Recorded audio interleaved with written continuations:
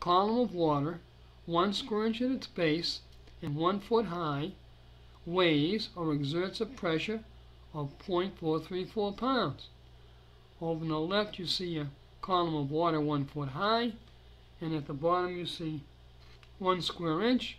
That would exert a pressure of 0.434 pounds. One pound per square inch pressure will support a column of water 2.31 feet high. Over on the left you see one pound per square inch pressure and that will lift the water to a point of 2.31 feet. Pressure per square inch.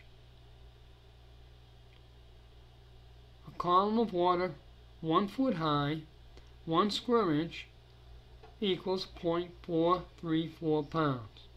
Now, let's look at a 4 inch pipe 20 foot high.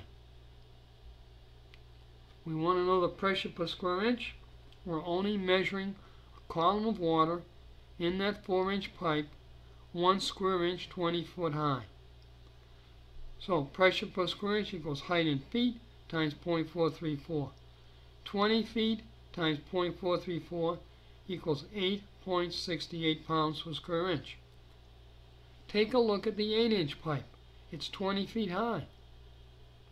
Now, the pressure per square inch would be the same as the 4 because we're only measuring a column of water 1 square inch 20 feet high. This is very important. So whenever you're doing pressure per square inch, the big number is 0.434.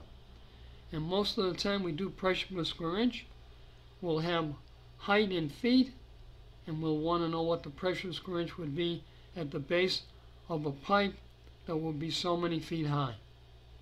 Remember, diameter is not a factor when you're doing pressure per square inch because you're only talking about a one inch column 20 feet high or however high it is.